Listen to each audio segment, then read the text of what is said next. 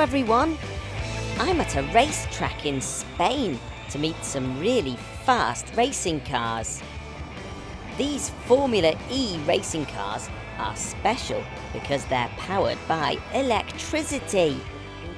This is Robin, and this is Sam. They're racing drivers for the Envision Virgin Racing Formula E team. They're also teammates. Their job is to drive around the racetrack in the fastest time possible and hopefully win the race. Today, the team are testing out their cars before the racing season begins. Testing's like practice, and practice makes perfect. But first, we need to put the car together. First, the mechanics cool down the car with dry ice, which is a super cold gas. Then they place the rear wing into position and screw into place. The front nose of the car is attached next. Once the helpful mechanics have put the car together, it's time for the drivers to get ready.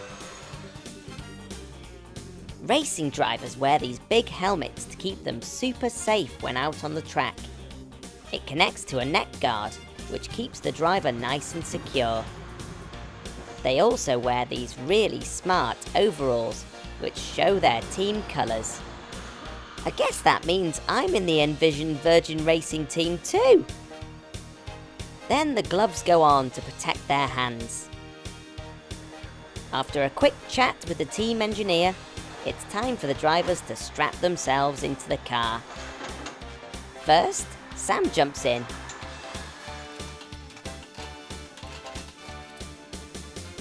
then Robin. Both drivers have different helmets, so the team know who's who out on the track. Robin has an orange helmet, and Sam has a white one. Formula E cars have detachable steering wheels. That means they can take them off, so the driver can squeeze into the car, and then put them back on again, ready to race the mechanics do some last minute checks on the car. And then it's ready to get out onto the track. The pit crew are all part of the same team and they check that the track is clear. The driver gives a thumbs up to say he's ready and the crew give him the go ahead. Both Sam and Robin leave their garages and drive down to the pit lane. We're almost ready to race.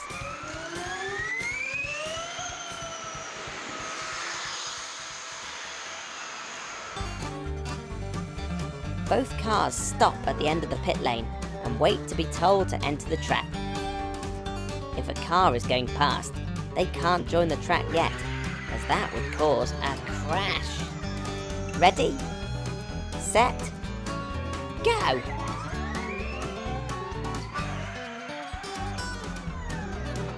Ready? Set? Go! This is the bit I've been looking forward to the most. Look how fast these cars can go. In fact, the top speed of a Formula E racing car is 150 miles per hour. That's as fast as the flight dive of a golden eagle. Now the other teams are out on the track, it's time to see who can get the fastest time.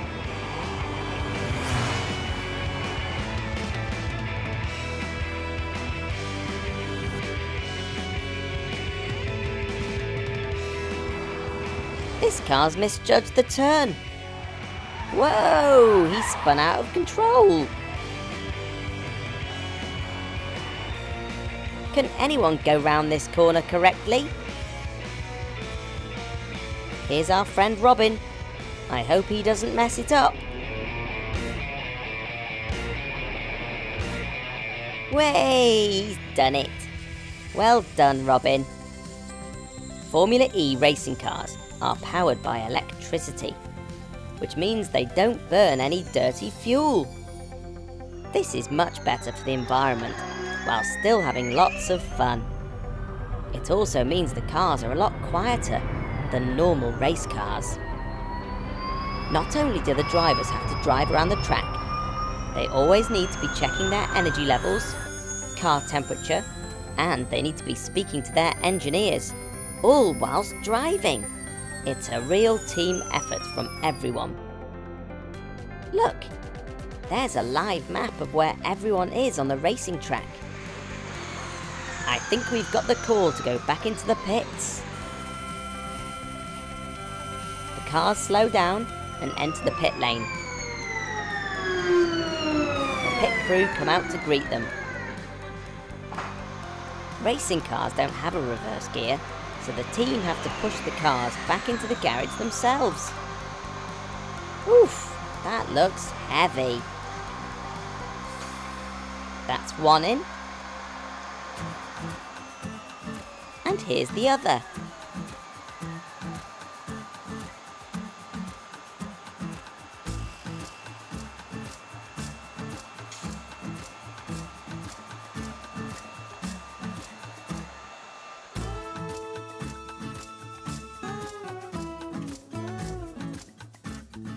As soon as the car enters the garage, the crew test the temperature of the car. It's a bit like when your mummy or daddy check your forehead when you're not feeling very well. It's a good way to find out how you're feeling. The car seems a little hot, so it's cooled down with these fans. I think Sam might be hot too. Formula E is a real team game, and it's not just the two drivers that do all of the work. There are more than 50 people in the Envision Virgin Racing team. There's lots of different jobs, like engineers, mechanics, or technicians. The crew have the incredibly important job of making sure the car is the best it can possibly be. And that means looking after it too. The car's worn all its tyres on the track, burning all that rubber on the baking hot road. So we need a fresh new set.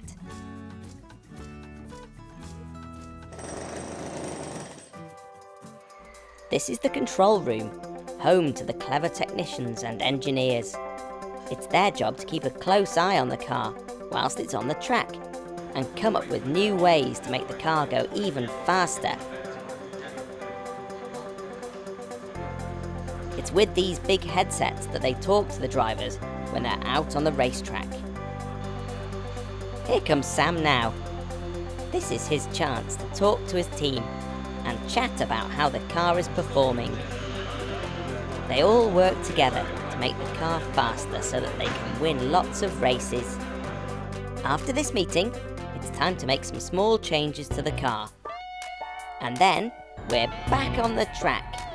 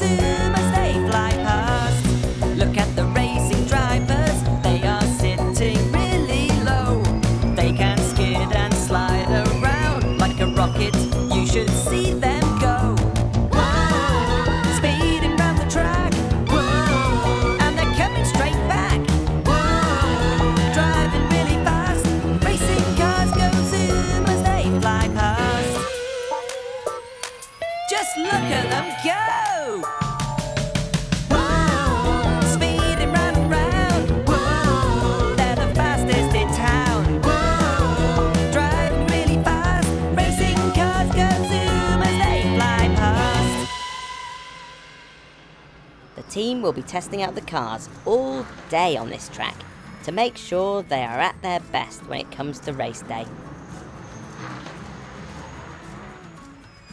I've had a great day here in Valencia with the Envision Virgin Racing Formula E team. Thanks very much to all the team. I hope you've learnt as much as I have about these clean energy racing cars. I'll see you again soon. Bye!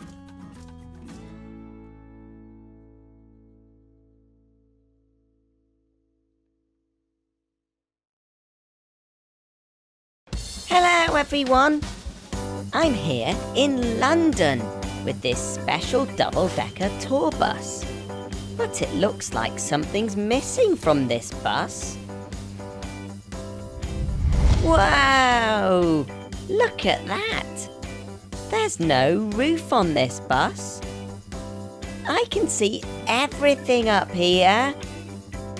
There's loads of tall buildings to see in London, and because there's no silly roof in the way, you can see right up to the sky. Every year, around a million people from all over the world come to London and take a sightseeing tour with the original tour company.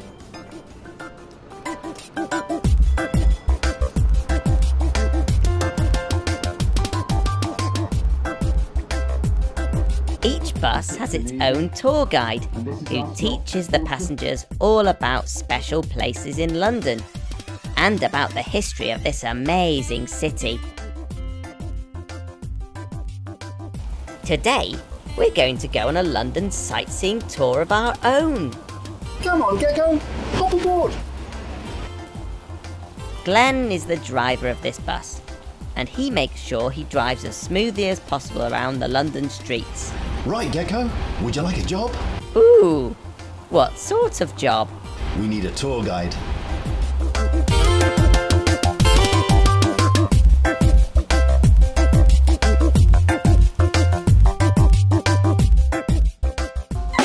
Hello, hello, ladies and gentlemen, boys and girls. I am your tour guide for today, and together we're going to visit the amazing sights of London. London is the capital city of the United Kingdom, and the city grew around the river that goes right through the middle of it. This river is called the River Thames, and today our bus is going to cross the river on some famous bridges. Ooh, look at this amazing palace. It looks a bit like my house, but my garage is a bit bigger. This is Buckingham Palace. Does anybody know who lives here? I'll give you a clue. Her name is Elizabeth, and she's been the ruler of England for over 60 years. It's my old friend, the Queen of England. Let's go and have a cup of tea. Hello. We're here to see the Queen. Uh. Hello? Queen? Queen? Queenie? Queen? Queen? I don't think she's in. Queen! Never mind. Let's visit our next London location. Wow! This is probably the most famous clock in the world. This is Big Ben, and it's been bonging and telling the time for over 150 years. It's actually the bell inside the clock tower that's called Big Ben. The clock tower itself is called the Elizabeth Tower, named after my friend, Queen Elizabeth. Just next door to Big Ben are the Houses of Parliament. They're some of the most important buildings in the United Kingdom. It's where the main decisions are made on how to run the country. Wow, I just love being able to see everything from this open top tour bus. I'm just glad it isn't raining though. What's this? It looks like a giant fairground ride. Ah, this is called the London Eye, and it's one of the biggest observation wheels in the world. It goes around very slowly. But that's so you can get a proper view of everything around you. We're about to go over a very famous bridge. You've probably heard a song about it. Hope the song doesn't come true. It goes something like this. London Bridge is falling down, falling down, falling down. London Bridge is falling down, my fair lady. Build it up with silver and gold, silver and gold, silver and gold. Build it up with silver and gold, my fair lady. Phew, we made it. We're now on our way towards the tallest building, not just in London, but in the whole of Western Europe. Wow! It looks like it's touching the sky.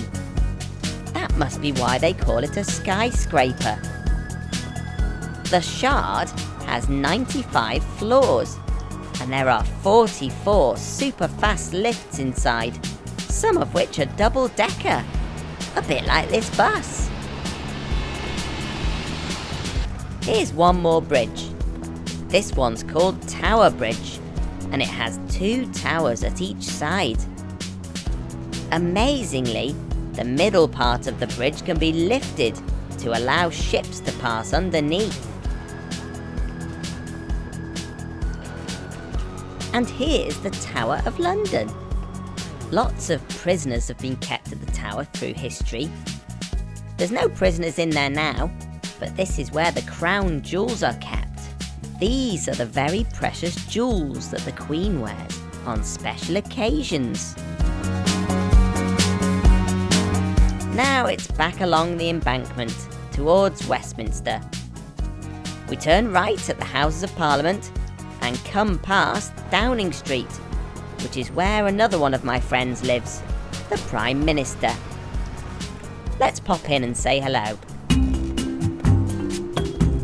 They live around here somewhere.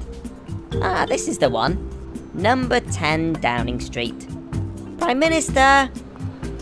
Primey! Prime Minister! Oh dear, they must be out as well. I guess they must be very busy running the country. Oh well, back on the bus. We're now passing Trafalgar Square. The tall statue is called Nelson's Column. It was built to remember the hero, Admiral Horatio Nelson.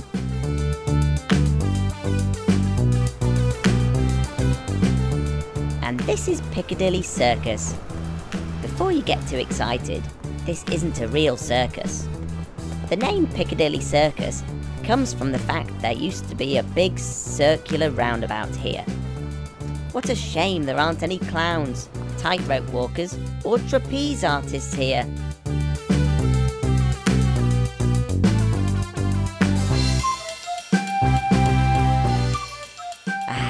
Here we are back at base at the end of our tour.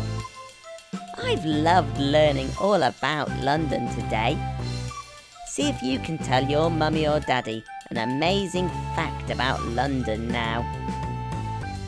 Thanks very much to Glenn and all the team at the original tour for taking us around London on their amazing open top bus. We'll see you again soon.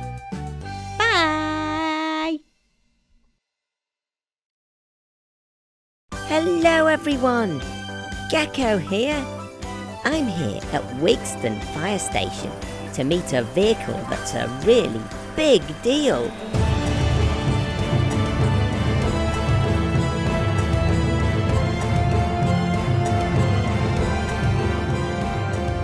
Hold on to your hats because here it comes. Woohoo! That is the cutest fire engine I've ever seen. This is the mini fire engine and it's used by the amazing firefighters here to teach children all about fire safety. This is Kane. He's a firefighter and the driver of this mini fire engine. It's got all the usual things you'd expect on board. Flashing lights, a siren and a ladder. All in an itty bitty teeny tiny size. But best of all, it's got plenty of room in the back for children to have fun rides. Look at that! There's a pretend radio for making emergency calls. You can really see just how small the mini fire truck is when it's parked next to its big sister. This fire truck is big, and this one is small.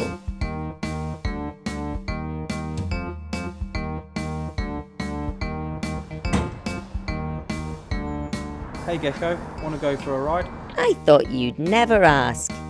Yes, please.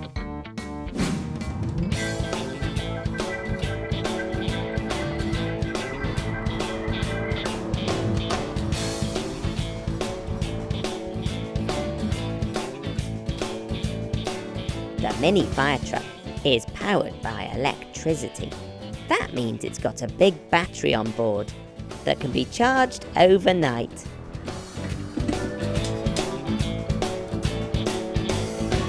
It's very easy to drive. Kane just puts his foot on the pedal and steers with the steering wheel. To turn on the flashing lights and sirens, he presses these buttons.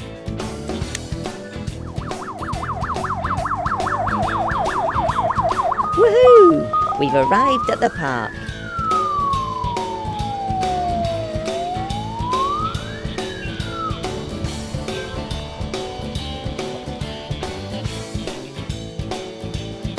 Kane, I think these children would like a ride.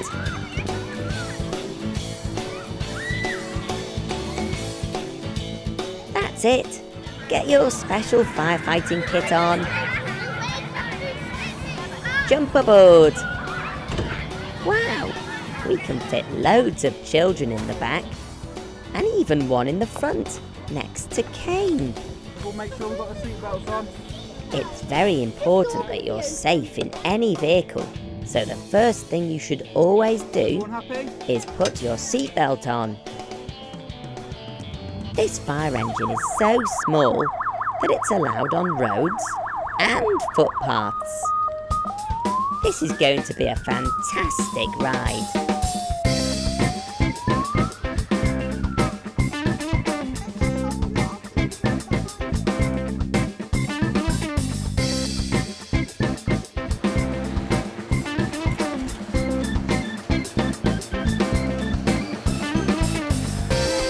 Hello to everyone.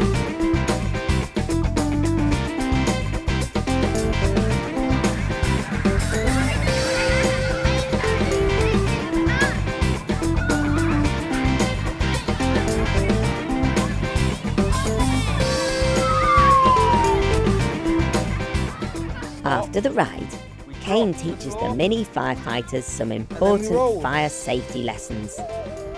This one's called Stop, Drop and Roll. Oh, Get. Fire is very dangerous, and if there's ever any fire on your clothes, you should stop, drop to the floor, cover your face, and roll around. I've loved spending the day with this amazing mini fire engine. Thanks very much to Kane and all of the team at Wigston Fire Station. For now, it's cheerio from Gecko. Bye. Hello, everyone. Gecko here. What a lovely day for a walk. But woohoo! This hill's a bit steep. Mechanicals, are you okay? Whew. I'm struggling a bit too. I should really get out of the garage more and do some exercise. Hey! The mechanicals have hitched a lift. How do I get on? Hey! Wait for me!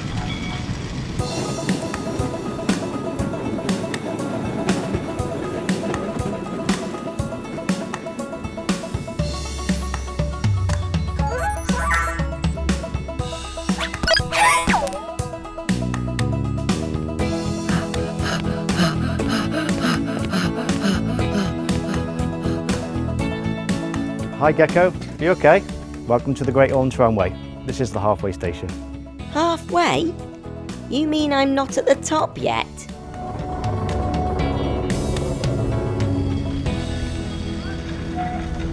Wow! Now this is the way to travel. Put your feet up and get pulled up the mountain. This is a tram. It runs on rails and it's connected to a really strong cable which pulls it up the hill with absolutely no effort on my part. Phew!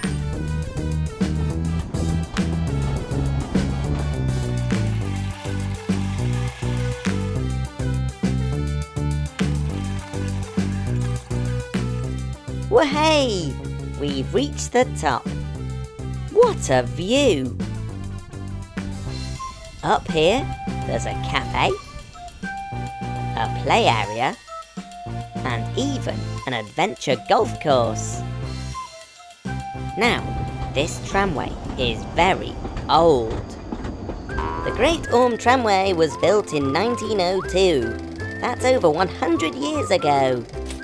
It was before most people had cars to get around in, and the tramway was used to transport people and their things from the town of Llandudno below up to the mountain called the Great Orme. Ahem. hmm. Let's take a closer look at how these trams work. What do you mean there's no engine? Excuse me, James. If there's no engine in the tram, how does it move up the hill? Good question, Gecko. Well, as you know, the tram is connected to a really strong cable, and this cable is connected to a big winch at the halfway station. Would you like to see? Ooh, yes, please. This is a winch. Wow, this is amazing.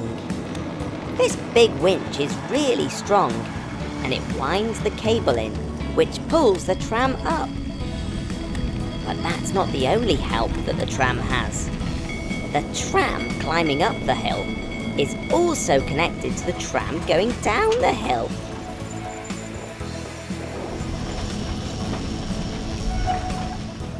An invisible force called gravity pulls the tram down the hill. Gravity is what keeps us on the ground.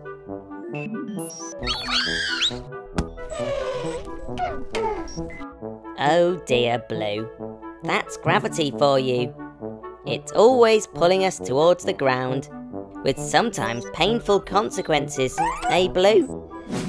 What goes up must come down. Back to the trams.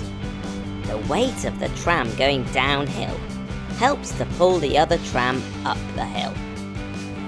That means the tram doesn't need an engine on board. Wowzers trousers.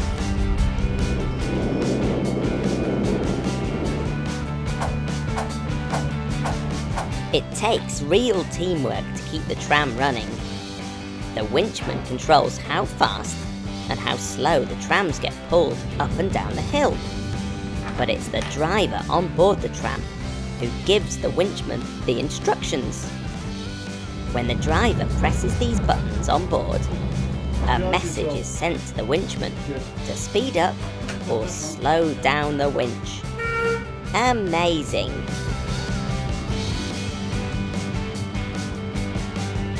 Whew, I'm exhausted.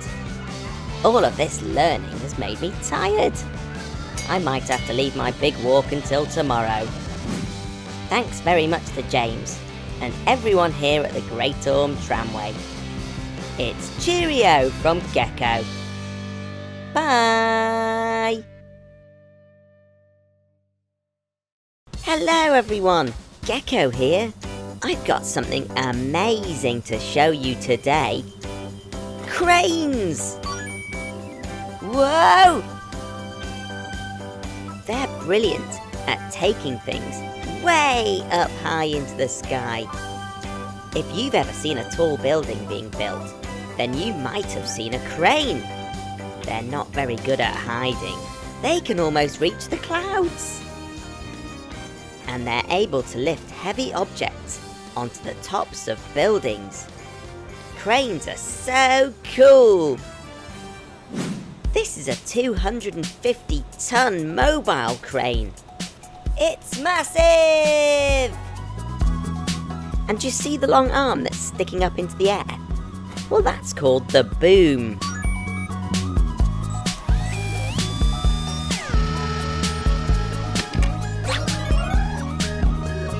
There's lots of different types of cranes, but let's see what makes this one special. Whoa! This yellow crane's got loads of wheels. Maybe as many as Larry the lorry. This means it can drive down the road to all sorts of construction sites.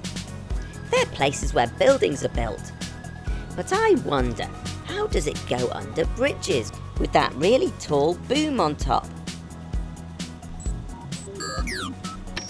That's it, Blue. You fold it away.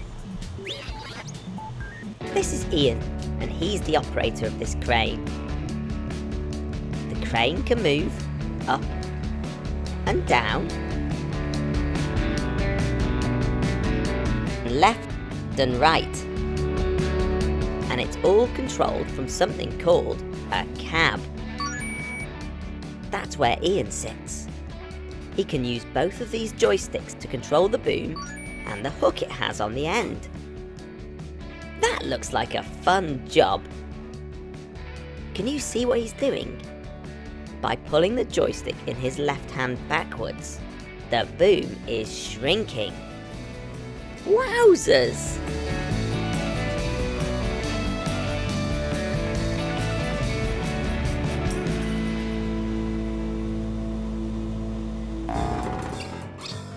The boom's made up of seven separate pieces, which all fit neatly inside each other. A bit like a Russian doll. Look at that! The boom is all packed up. These are called the outriggers. Just like stabilizers on your bike, they stop the crane from falling over when the boom is up. To get the crane ready for driving, we need to fold the outriggers away. Ian uses this control panel to fold them up, making them disappear inside the side of the truck. Bye bye, outriggers.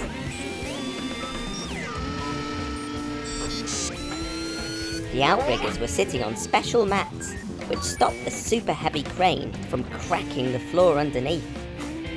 Ian neatly packs them away at the back of the truck.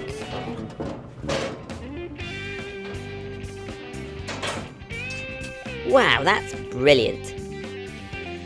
Now Ian can jump in the front cab and press one final button to balance the truck, ready for driving. Can you see it wobble? Look, it's rising up. And now it's ready to drive. Off we go!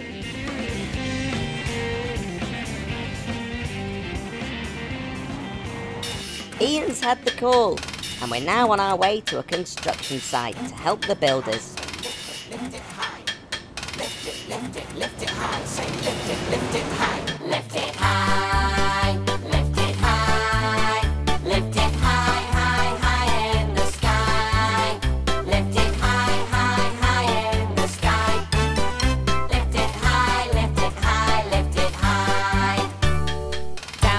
Construction site, they're building everywhere. But when the building gets too high, they all take extra care. Here to save the day is the massive yellow crane. It's time for the boom and hook to come and take the strain. Lift it high, lift it high, lift it high,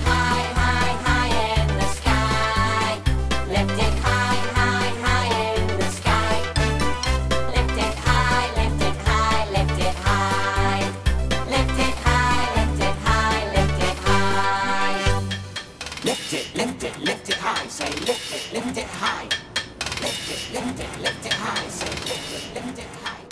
Thanks very much to Ian and all the team here at John Sutch Cranes. You can subscribe to my channel by tapping here. For now, it's cheerio from Gecko. Bye! If you love this video, tap here so you're the first to know about my latest videos. Thanks for watching. Bye.